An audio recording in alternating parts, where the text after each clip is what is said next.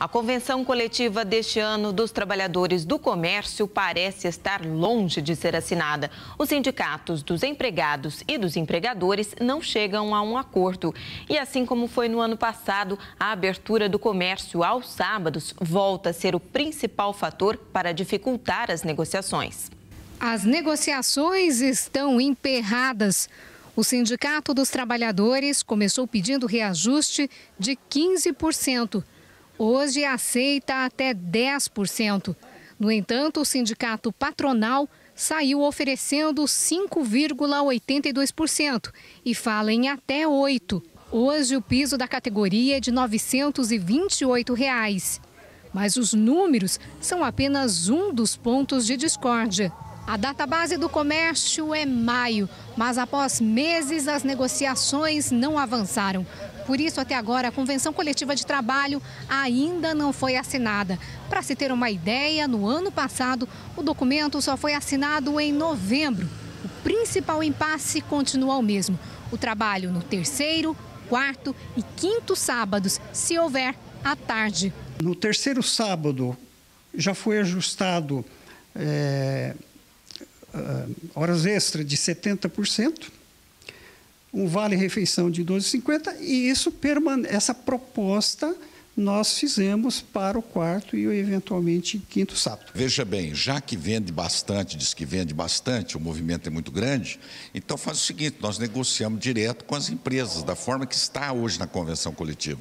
A negociação direta. Uma empresa tem uma condição X, a outra tem Y, nós vamos negociar direto. Você vê a alimentação no ano passado foi 12,50, quer dizer, 12,50. Nós estamos muito acima disso, negociando individualmente com as empresas. Para o Cincoval, os acordos individuais enfraquecem a categoria e acabam beneficiando mais os trabalhadores, sem uma contrapartida. Os dois sindicatos também têm entendimentos diferentes sobre a validade da convenção de 2013. Existe a súmula 277 do Tribunal Superior do Trabalho que definiu. Na ausência de uma nova convenção, prevalece aquilo que está na convenção anterior. Isso, evidentemente, tem que ser para as duas partes. Não pode ser válido apenas para uma das partes. Esse é o nosso entendimento. Isso aí é conversa, infelizmente não tem embasamento nenhum. Isso aí são pontos de vista, mas são pontos de vista isolados.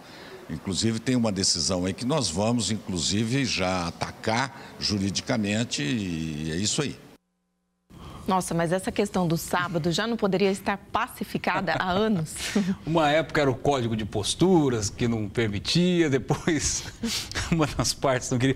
Olha, Patrícia, isso aí, a gente já está, a gente até conversava aqui, né? Eu e a Patrícia que já acompanhamos isso há algum tempo, para nós isso aí não é novidade nenhuma, não é? É mais um impasse, né? A gente já estava falando aqui, qual é a edição desse impasse, né?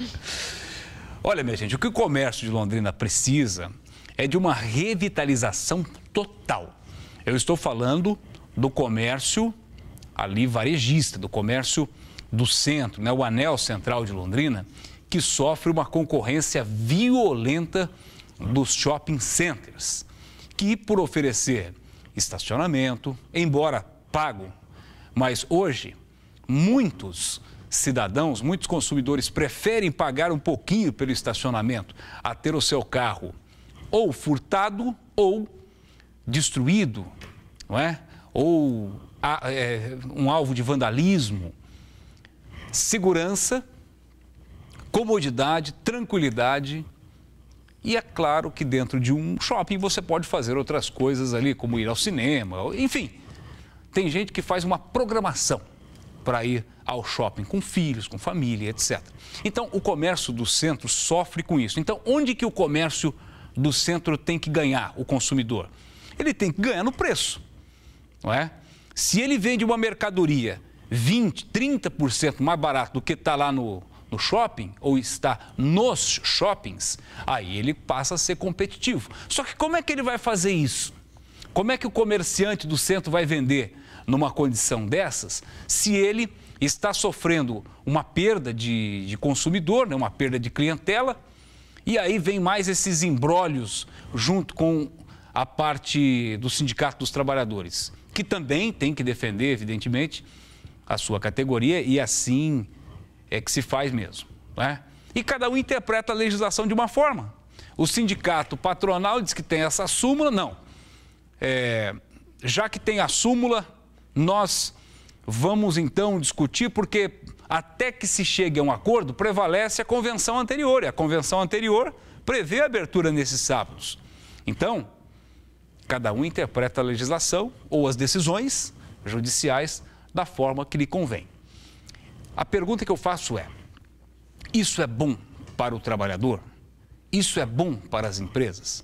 Esses impasses aí que vêm ano a ano, toda vez essa convenção coletiva de trabalho do comércio de Londrina é um Deus nos acuda.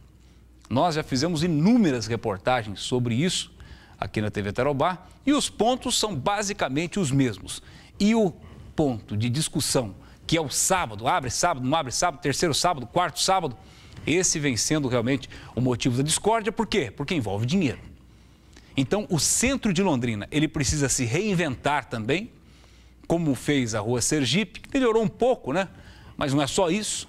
Mas ali, o miolo, o calçadão, ali a Avenida Paraná e tantos outros pontos ali onde o consumidor pode comprar, esse, esse local precisa se reinventar para atrair novamente o consumidor. Sem ele, não há negociação alguma.